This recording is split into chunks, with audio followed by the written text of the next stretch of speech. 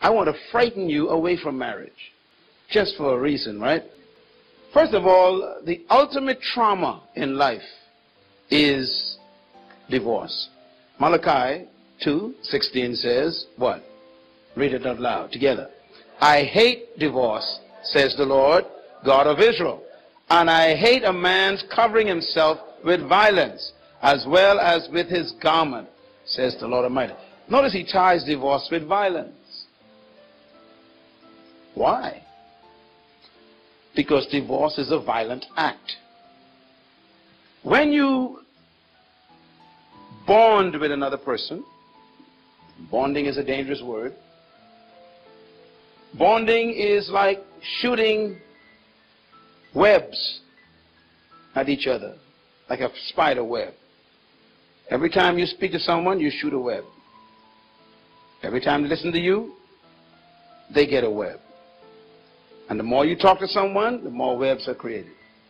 And then the deeper the conversation gets, the thicker the webs become.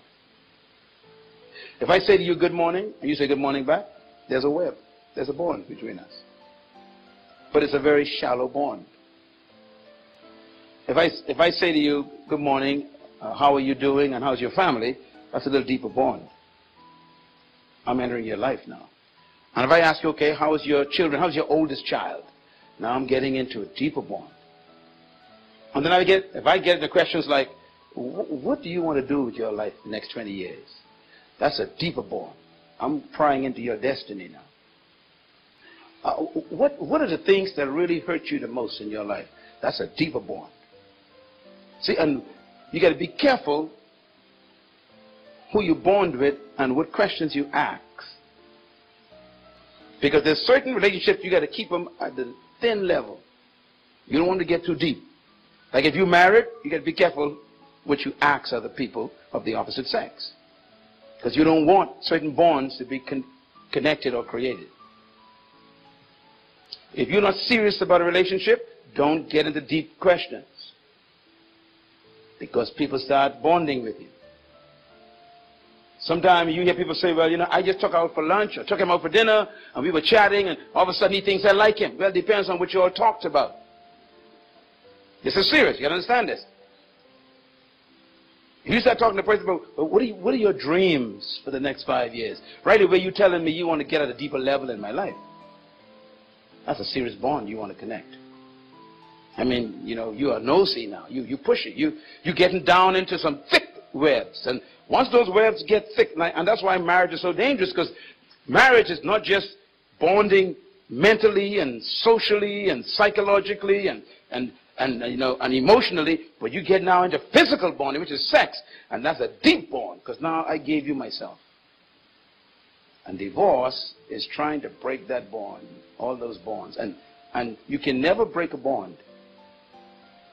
If you are bonded at that level, and sometimes it's even not even marriage, you might be going along with someone for five years. You all been, you know, close to each other, and you've been courting or whatever you call it for five years. There's some thick bonds in there. You, you, you isolated yourself from other people to bond with this person. So them bonds are deep, and you decide you can break it off. It ain't that simple. It's almost like a marriage.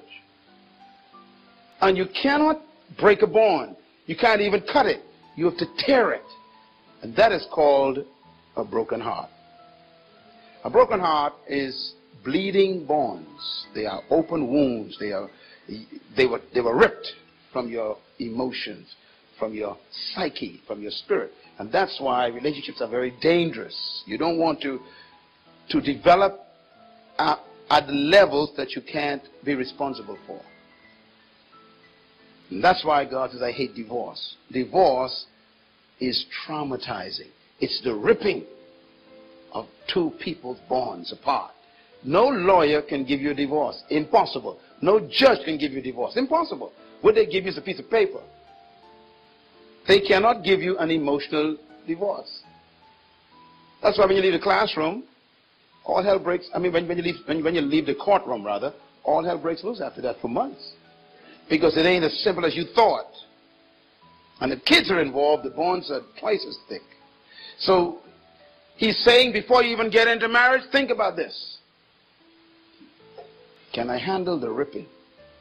Can I handle wounds that last for 10 years? I'm still licking them. And then every time I see this person in the food store, some blood comes out again. And I see them in the school picking up the kids, the blood. You know, does this, do you want that trauma? Or would you rather just be happy until you find the right person that you ain't never going to get divorced from?